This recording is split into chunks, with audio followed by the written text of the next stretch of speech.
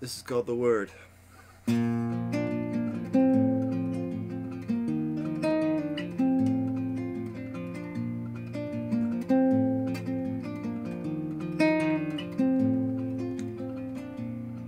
took a long walk in the forest. I took the path along the creek where the breeze was blowing soft. I thought I heard the good Lord speak. He said, David, when will you learn to trust me? What will it take to prove my love to you? I thought the trees and the breeze would be enough.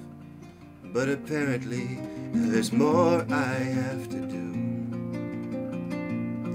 I said, Lord, sometimes it's hard to find you. Sometimes you seem so far away. If I asked you some questions, would you answer me today? Well, at least you're finally talking to me.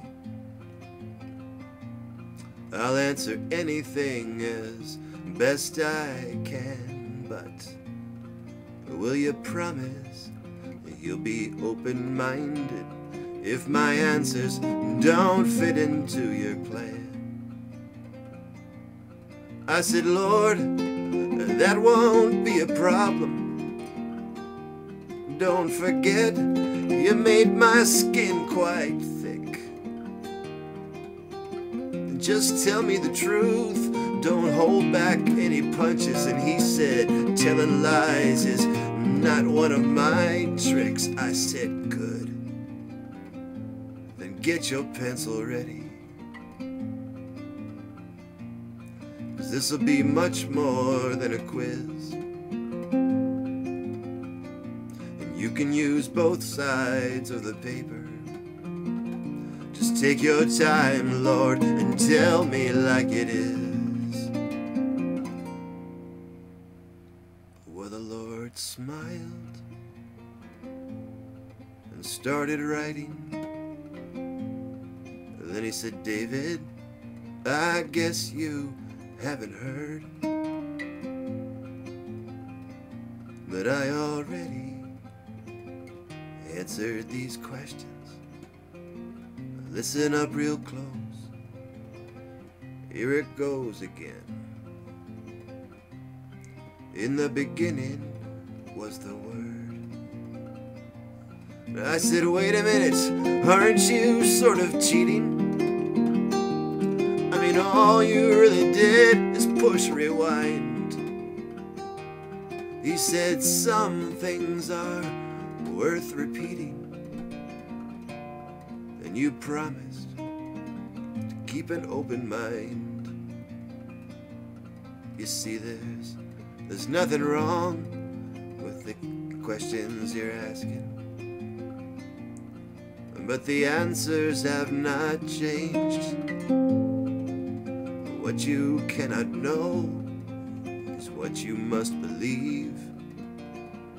Even if your heart gets rearranged. I said, fine, but you're avoiding my questions.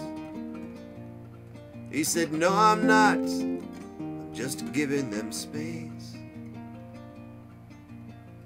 Anything you learn is just a stepping stone to faith. And faith is just a stepping stone to grace, which is so, so much more than amazing.